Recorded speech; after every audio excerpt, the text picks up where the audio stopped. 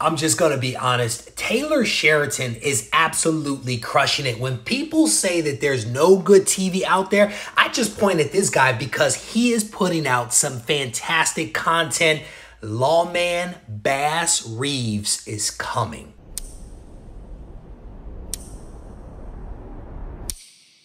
You a lawman or an outlaw?